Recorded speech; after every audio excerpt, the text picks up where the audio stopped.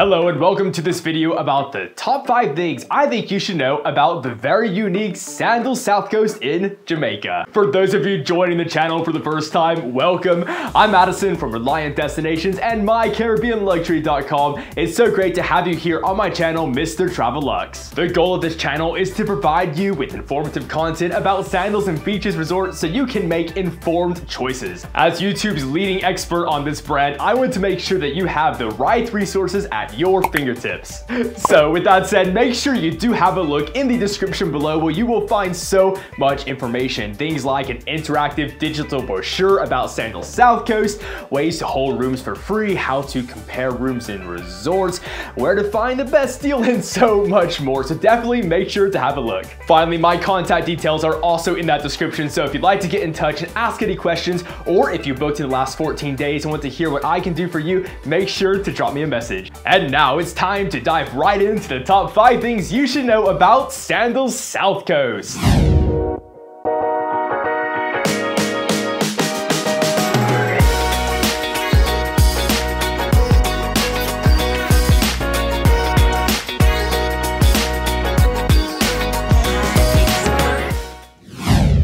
Number one, Sandals South Coast is an all beachfront resort that's set along a beautiful two mile beach. Now the question to ask here is what makes this unique? See, if you look at different Sandals and Beaches properties, or even if you look at other brands across the Caribbean, one thing you will notice is that beachfront or oceanfront rooms are typically going to be the premier both in cost and also the nicest rooms and suites in any given resort.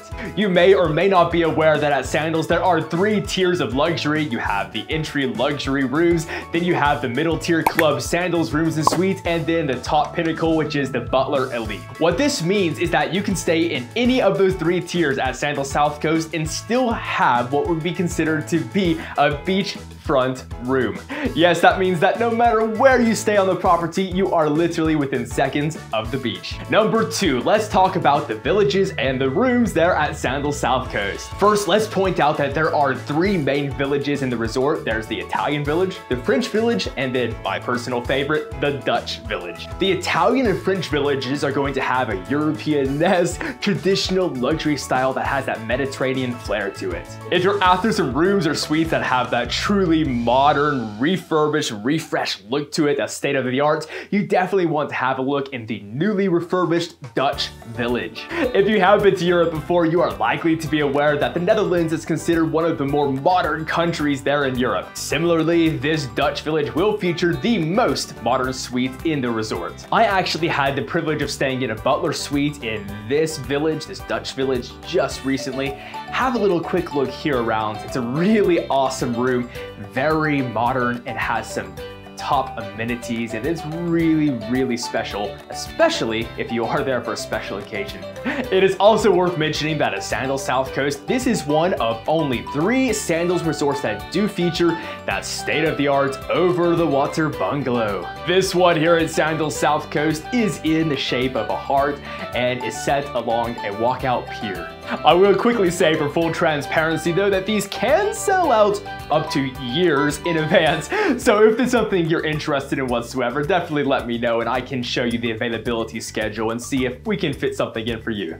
Number three is a little bit of a funny one, but it's definitely something I think you should know, and it is bring water shoes. Here's the deal. At Sandals South Coast, the beach and the water, it is beautiful. However, it does have some seasonal variations to it. The sand there is very comfortable, but it is soft sand. And if you happen to be there on a day where there's a, a large wind or perhaps a small storm that comes through, it can churn up the water a little bit, in which case it's a really good idea to have water shoes. Speaking from a guy who once stepped on a sea urchin. So just something to keep in mind, nothing to fear, but it's always a good idea for your comfort and also for your safety just to have water shoes, really at any resort, but I do recommend it at Sandals South Coast just based off the nature of how the sand is. Water shoes can be really cheap and comfortable, and in fact, I've actually linked below some of my favorite options. You can have a look there. Number four, let's quickly chat about some of the dining and bar highlights. First, I have to give a big shout out to Latitude's Over the Water Bar. Now, there are some other resorts that feature a almost identical bar to this one, like Sandals Montego Bay, and this is a really special experience. If you're like my wife and I, this is a great place to actually go first thing in the morning for a beautiful Caribbean sunrise or in the evening if you want to catch that amazing sunset. There are hammocks that surround this almost 360 degrees and it is a really, really unique bar setup. If you are a coffee or a pastry lover, definitely make sure to stop by Cafe de Paris or as it's spelled Cafe de Paris, but that's not how it is pronounced. And this is indeed a wonderful, wonderful French patisserie. Whether you're after some croissants or some crepes or whatever it is, or gourmet coffees, this is definitely the place to go. If you prefer a frozen coffee drink on a hot island. They make amazing frappuccinos, and anybody that knows me knows that is my go-to drink when I'm at Sandals. Speaking of which, when you see me walking around a Sandals resort, maybe with that frappuccino hand, definitely come and say hi. I've met hundreds of you from the channel, and it's always awesome to have a chat. When it comes to dinner, just a quick mention of my top two favorite dining options. Jasmine's is a fine dining oriental restaurant. Here you can find exquisite dishes that are comparable to if you went to a very state-of-the-art oriental dining experience in a big city near you. Right next to it is my second favorite, which is Eleanor's. Now, Eleanor's is actually fine dining Caribbean cuisine to give you some local flares. I have to say that they do a mean steak, so if you are a foodie and a carnivore like I am, definitely make sure to give Eleanor's a try. The ambience in there is very romantic and there's a lot of space in there. I think that's great for a special date night while you're in the resort and one of the features in there is actually a nice water wheel that goes around and it's a really, really cool place. Definitely check that out. Number five is a personal opinion having been to all the Sandals and Beaches resorts and this is that I think that this resort here at Sandals South Coast does have one of the best entertainment teams. First, there is a jumbo indoor cabaret that has multiple performances throughout the week different shows in there that are really astounding. However, I find the outdoor entertainment even better, and this is things like circuses and beach parties. There's so much happening every night of the week. Now, if you have an existing reservation and you have the Sandals app, when you get close to your stay on that app, you can actually find the live entertainment schedule to look through and find times. Now, here's a top tip.